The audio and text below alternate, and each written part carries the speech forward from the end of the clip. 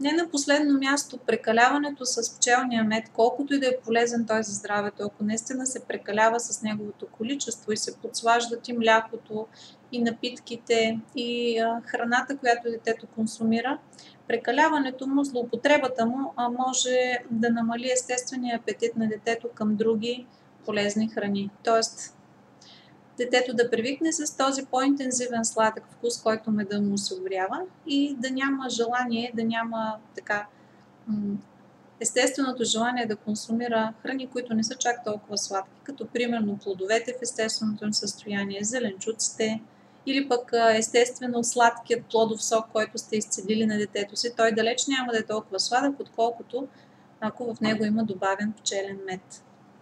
И така, това бяха всъщност рисковите, които касаят включването на меда и най-вече злоупотребата с меда в детска възраст.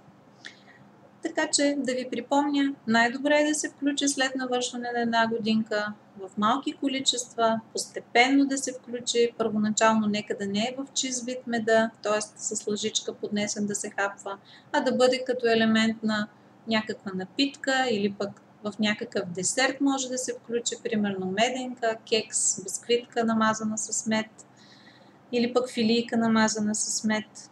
Постепенно да се включи. При алергичните деца меда е желателно да се включи по-късно, след втората, третата годинка.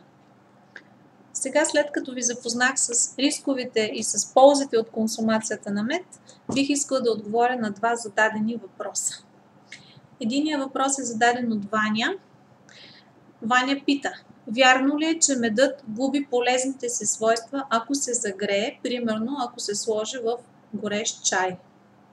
Ваня, благодаря за въпроса ви. Често пъти се коментира, че меда наистина не е толкова полезен, ако се загрява, ако се претопля, примерно ако меда се е захаросал и ние го, ние го стоплим на водна баня и го загреем, за да се стопи отново да стане течен, губи ли той полезните си свойства? На този въпрос не бих могла да отговоря еднозначно. По отношение на някои от полезните си свойства, да, може да загуби. До някъде това е вярно, тъй като примерно съдържанието на някои витамини – ще намалее съществено, ако меда се загрее сериозно. Примерно, ако наистина се претопли или ако се налее в, врящ, в врял чай. Така, например, съдържанието на витамин С и най-вече на фолиева киселина ще намалее драстично, но също така ще се загубят и толкова ценните ферменти или ензими, които естествено се съдържат в незагрятия мед те се разрушават от високата температура. Над 44 градуса, ако е температурата на напитката, която подслаждате, действително те ще се разрушат. Така че от тази гледна точка по-добре е чая леко да се охлади, да се изчака да се охлади, тогава да се подслади. От друга страна, има пък други съставки на меда, които не търпят загуба от термичната обработка. Това е, например, съдържанието на восък. Независимо дали ще загреем меда или няма да го загреем, съдържанието на восък ще остане едно и също. Аз вече казах, восъка всъщност е може би най-ценната съставка, която облегчава кашлицата при децата. Така че може би е по-добре, когато търсим лечебния ефект на меда, при настинка, при някаква инфекция по-тежка, действително да се съобразиме с това, че се губят част от витамините и ферментите и да го използваме меда в течности, в напитки, които са по-охладени, не са горещи. Така че много е важно и как се съхранява меда, за да се запазят неговите полезни свойства. Най-добре е да се съхранява в стъклени съдове, т.е. в буркани, а не в пластмаса или пък в метални някакви а, контейнери, съдчета. И да бъде затворен и да бъде на сухо, на хладно и на тъмно. Това са условията, които ще ни гарантират наистина максимална полза от консумацията на мед. Другия въпрос е зададен от Мария. Мария пита, как да разбера кой мед е истински, когато го купувам от магазина? А, мили момичета, действително меда е една от храните, които много често ще се фалшифицират. Как се фалшифицират? Най-вече като се добавя глюкозофруктозен сироп. Захарен разтвор много често се добавя към меда и всъщност по този начин се фалшифицира намалява всъщност неговата биологична стоеност, съдържанието на всички тези полезни вещества, които ги има в естествения, натуралния мед. Това, което бих могла да ви посъветвам, за да не, да не се лъжете и да купувате фалшифициран мед, е да четете наистина етикетировката на буркана, който купувате. Информирайте се от етикета. На него трябва да пише, че меда е чист, натурален, а не е смес. Много често а, смес е написано с малки букви. Нали? С големи букви е написано пчелен мед, отдолу с малки букви пише смес. И всъщност това е смес с глюкозо-фруктозен сироп. Четете това нещо да не е така.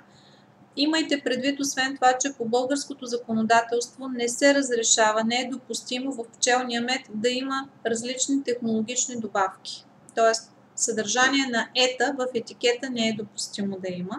Ако има съдържание на е, значи това не е чист мед, това е някаква смес. Освен това на етикета на меда би трябвало да търсите и да намирате всъщност информация за съдържанието на вода. То трябва да бъде до 20% от теглото на меда, съдържание на глюкоза и фруктоза не по-малко от 80%. И още един показател има, това е така нареченото диастазно число, то е свързано с съдържанието на ферменти или на ензими в меда, трябва да бъде не по-малко от 7%. На практика това са показателите, които бихте могли да потърсите на етикета, когато си купувате мед, за да сте сигурни, че наистина меда, който купувате е натурален, а не е фалшифициран, истински.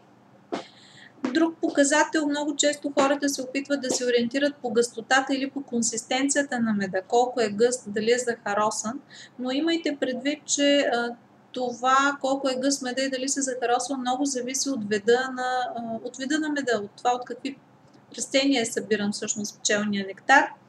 Така, например, акация мед е много по-течен от останалите видове мед и на практика той не се захаросва. Колкото и време да престои, той няма да се захаросва. Това не означава, че е фалшифициран.